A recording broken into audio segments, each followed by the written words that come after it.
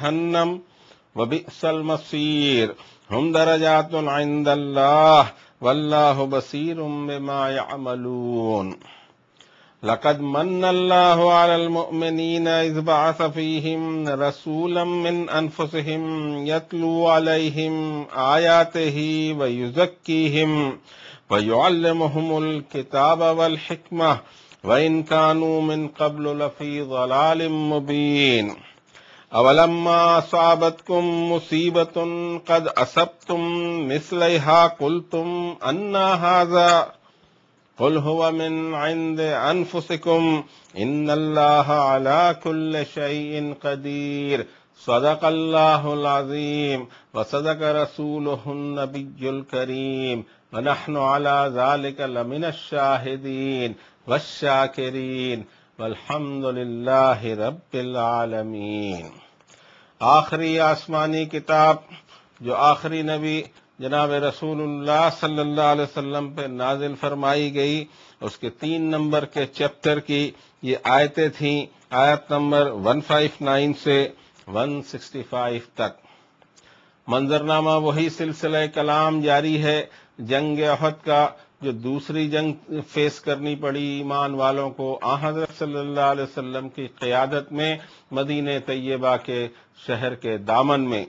और उनमें, उसमें हालात ने कुछ अजीब सूरत इख्तियार कर ली और शिकस्त का सामना हुआ, लेकिन वो शिकस्त नहीं थी, बल्कि एक ऐसी चीज़ थी कि दोनों ही साइड में नुकसान तो ज़रूर हुए थे। फैसला कुन फतेह किसी को थी न फैसला कुन किसी को शिकस्त थी। लेकिन पिछली कई आयतों से हम देख रहे हैं कि उसका तस्करा है यहाँ, और ईमान वालों के पूरे माशरे की सफ़ाई इसके ज़रिए की जा रही है, और कयामत तक के लिए, हर इंसान के लिए इसमें वो हिदायत मौजूद रहेंगी कि अल्लाह ताला का मामला उसके बंदों के साथ कैसा होता है। आइए सबसे पहले हम इसके तर्जुमे को देखने की कोशिश करें। हम कोशिश करते हैं कि आसमानी कलाम को हम अपनी जबान में अदा करें, उसके मफहूम को, और उसके लिए हमें अल्लाह की मदद और इस्तेआन की ज़रूरत है। हमें उम्मीद है कि हमारा रब हमारी मदद फरमाएगा। हम शुरू करते हैं इसको। सोए नबी सल्लल्लाहु अलैहि वसल्लम, ये तो अल्लाह की रहमत है कि आप नर्म मिजाज हैं इनके लिए, और अगर आप मिजाज और दिल के सख्त होते तो ये मुंतशिर हो जाते आपके आसपास से। सो इन्हें माफ़ फरमाइए और इनके लिए इस्तगफार की दुआ कीजिए और मामलात में इनका मशवरा लीजिए। फिर जब आप किसी फैसले पे पहुँच जाएँ तो अल्लाह पर तवक्कल कीजिए। बेशक अल्लाह मोहब्बत करता है तवक्कल करने वालों से। अगर अल्लाह ने तुम्हारी मदद की तो तुम पर कोई गालिब नहीं आ सकता। और अगर वो तुम्हें छोड़ दे तो अल्लाह के बाद कौन है जो तुम्हारी मदद करे सो अल्लाह ही पर तवक्कल करते रहना चाहिए ईमान वालों को। और कोई नबी कोई बात छुपाया नहीं करता और जो छुपाएगा लाना होगा। जो छुपाया था कयामत के दिन फिर फुल पेमेंट दे, दे, दे दिया जाएगा हर नफ्स को जो उसने कमाया और किसी का कोई नुकसान नहीं किया जाएगा। फिर जो अल्लाह के रिजवान को फॉलो करता हो, उसकी सोच वैसे कैसे हो सकती है? जो अल्लाह के गजब के मुस्तक हो और उसका ठिकाना जहन्नम हो, बहुत बुरा ठिकाना है वो। उनके दर्जात हैं अल्लाह के नज़दीक और अल्लाह वॉच कर रहा है जो वो अमल कर रहे हैं। बेशक एहसान फरमाया है अल्लाह ने ईमान वालों पर, जब उन्हीं में से उनके अपनों में से एक रसूल को अपॉइंट किया, जो पढ़ पढ़ कर सुनाते हैं, उनको अल्लाह की आयतें और उनका तजकिया कर देते हैं और उनको तालीम देते हैं अल किताब की और अल हिकमत की, जबकि इससे पहले वो लोग खुली हुई गुमराही में थे। क्या जब अब तुम पर मुसीबत पड़ी और हालाँकि तुम ऐसी ही डबल मुसीबत उन पर डाल चुके हो, तुम पूछते हो, ये कैसे हो गया? ए नबी सल्लल्लाहु अलैहि वसल्लम, इनसे कहिए कि तुम्हारे ही कारण हुआ है और बेशक अल्लाह हर चीज़ पर कुदरत रखता है।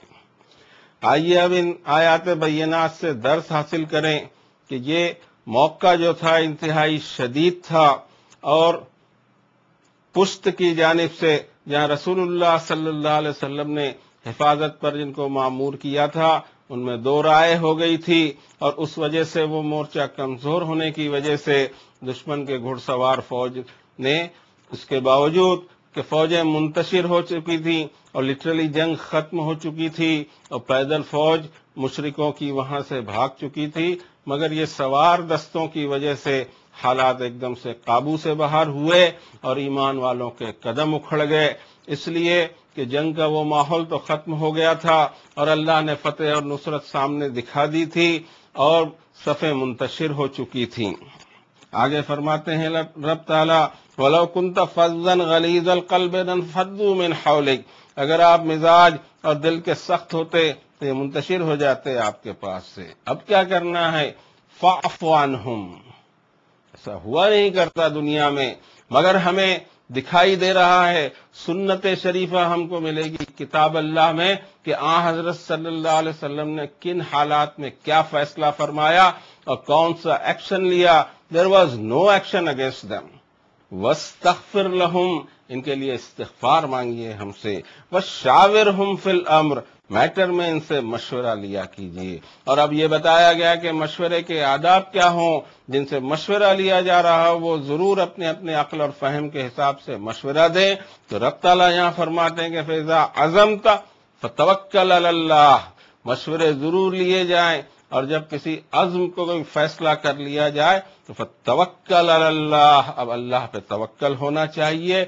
इसलिए कि अल्लाह पर इन अल्लाह अल्लाह पसंद फरमाते हैं तवक्ल करने वालों को। क्या सुन्नतें रही हैं अम्बिया कराम अलैहिस्सलात वसलाम की? और आखिरी नबी जनाब रसूलुल्लाह सल्लल्लाहु अलैहि वसल्लम की, ला तसरीब अलैकुमुल यौम। जब फतेह मक्का के वक्त आप दाखिल हुए, हरम के आँगन में बैठे हुए थे, और वो लोग आए जिन्होंने मुसलसल 20-22 साल तक सताया था, और हर तरह की कोशिशें कर ली थी कि हक को डगमगा दें, हक नहीं डगमगाया, और और रब ताला ने फरमाया कि वकुल जा अल हक वजहकल बातिल इन्नल बातिल कान जहूका, यही आयत शरीफा पढ़ते हुए आप दाखिल हुए थे मक्के में, फतेह मक्का के वक्त, कि आप फरमाइए नबी सल्लल्लाहु अलैहि वसल्लम कि आया हक और गया बातिल और बातिल तो होता ही है जाने के लिए। किताब अल्लाह के अंदर सीरत नबवी को ढूंढा जाए। किताब अल्लाह में सुन्नत नबवी को ढूंढा जाए तो हमें पता लगेगा कि वो क्या कैरेक्टर थे, जिनके लिए इतने ज़बरदस्त अल्फाज कुरान शरीफ में वारिद हुए हैं। अखलाक के अजीम मीनार पे थे वो, रहमत ही रहमत दुनिया के लिए, जिनको डिग्री अल्लाह ताला ने रहमत आलमीन की दी हो तो उससे बढ़कर डिग्री क्या हो सकती है? ये चीज़ें रहम के जज्बे ये मोहब्बत, ये शफक्क़त, ये अपने वालों के साथ हमदर्दी, ये गायब क्यों हो जाती है? उस वक्त होती है जब किताब अल्लाह से रिश्ता कमज़ोर होता है और एक ऐसा दीन वजूद में आता है जिसमें किताब अल्लाह का रोल नहीं होता। वो दीन कहीं और से बरामद होता है, किताब अल्लाह से बरामद नहीं होता। सुन्नत नबवी रही कि इतने ज़बरदस्त मौके पर भी फाफान वसफा फाफान वस्तगफिर लहुम। कैफियत अगर दिल की आती नहीं, हमारी उन लोगों के लिए जिन्होंने हमको सताया हो और अल्लाह ने मौके को पलट दिया हो, हमारा हैंड अपर हो गया हो, और ऐसी सूरत में ये कैफियत और ये जज्बा दिल में नहीं आता तो इसका मतलब सुन्नत रसूल की से लापरवाही की जा रही है। और रब ताला फरमाते हैं कि इतने हालात और हद में खराब हुए हैं, उसके बावजूद इनको माफ़ भी कीजिए इनके लिए इस्तफार भी मांगिए और मैटर्स में मशवरा भी लिया कीजिए। लेकिन जब कोई अज़म और कोई फैसले पे आप पहुँच जाए तवक्ल अगली आयत शरीफा में फरमाया फला गालिब लकुम आज के हालात में भी इस आयत को देखना होगा गलबा कैसे मिले फतेह कैसे हासिल हो रब ताला फरमाते हैं अगर तुम्हारी मदद करे अल्लाह तो तुम पर कोई गालिब नहीं आ सकता। चाहे ताकत कितनी भी बड़ी हो, कैसे कैसे सुपर पावर हो चुके हैं, लेकिन अल्लाह की जब मदद हुआ करती है, किसी सुपर पावर की कुछ नहीं चलती। अल्लाह की मदद हासिल करने के फॉर्मूले वो बयान हुए हैं, जो किताब अल्लाह में है। एक फार्मूला मैं आपको दूँ, आप मुझे लीडर तस्लीम कर दें और फिर मैं आपको फार्मूले दूँ। कोई काम नहीं आने वाले। फार्मूले वही चाहिए जो अल्लाह ने अपनी किताब में बयान कर दिया। और ये फार्मूले कयामत तक रहेंगे, इसमें कोई तब्दीली नहीं आएगी।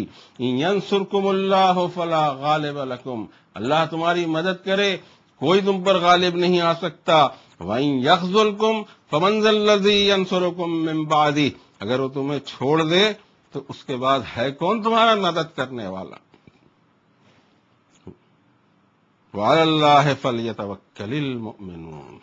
ईमान वालों को तो अल्लाह पर ही भरोसा करना चाहिए।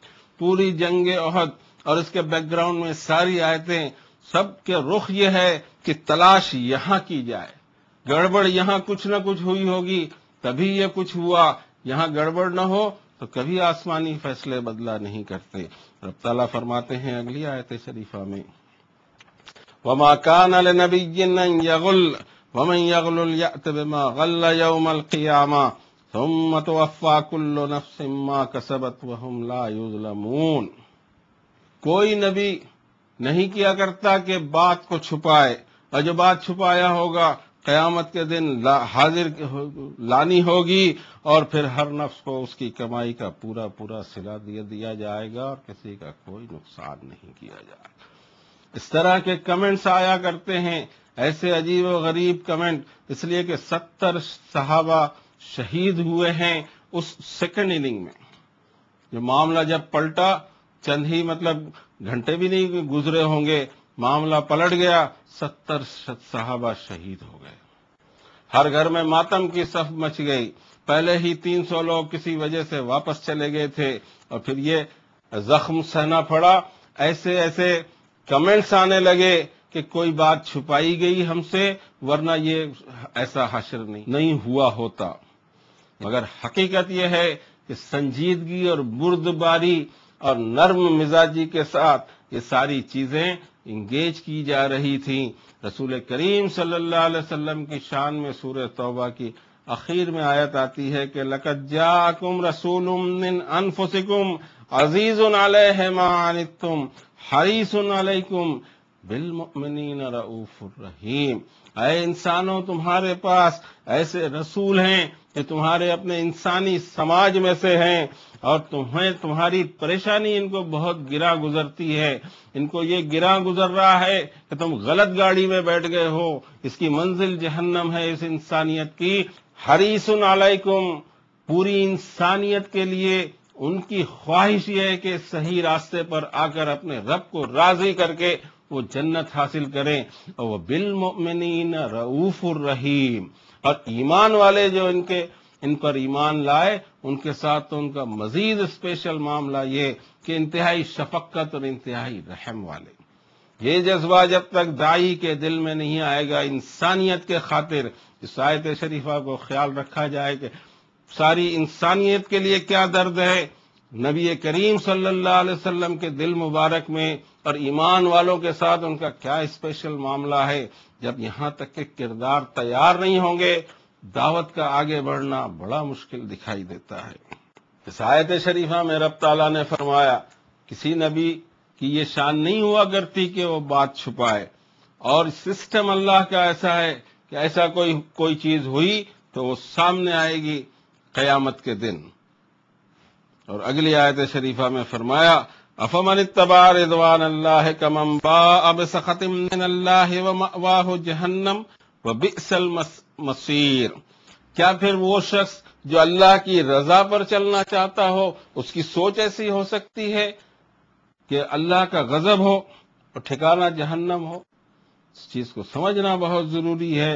बत्तीस नंबर की सूरत शरीफा में अठारह नंबर की आयत में फरमाते हैं कि अफम मन काना मुमिनन, कमन काना फासिका, ला यस्ताऊन। क्या फिर जो मोमिन हो, उसकी सोच, उसका किरदार, उसके फैसले, उसके इवेल्युएशन एंड डिवेल्युएशन फासिक की तरह होना चाहिए। कभी नहीं हो सकते ये, कभी बराबर नहीं होना चाहिए। किरदार में वो चीज़ झलकनी चाहिए, सोच बिल्कुल बदली हुई होनी चाहिए ईमान वालों की। दुनिया की जो सोच चला करती है, उस पर ईमान वाला ही सोच ले और उस तरह की उसकी सोच बने। रब ताला फरमाते हैं, कभी बराबर नहीं होना चाहिए। सोच बिगड़ी तो फिस्क की बात कही गई कि क्या फासिक की तरह सोचोगे? और अगली आयत शरीफा में फरमाया, हम दरजातुल्लाह वल्लाह बसीर बिमा यामलून। सारी इंसानियत के दर्जे हैं अल्लाह के नज़दीक और अल्लाह वॉच ही कर रहा है कि इंसानियत अमल क्या कर रही है। और अगली आयत शरीफा में ये मशहूर आयत है, लकद मन अल्लाहमिन इसबासफ़ीहिम रसूलम मिन अनफुसहिम यतलू अलैहिम व युज़क्कीहिम व युअल्लिमुहुमुल किताब वल हिकमा व इन कानू मिन कब्ल लफी मुबीन। इंदीड एहसान फरमाया है अल्लाह ने ईमान वालों पर कि जब उसने उसका रसूल उन्हीं में अपॉइंट किया।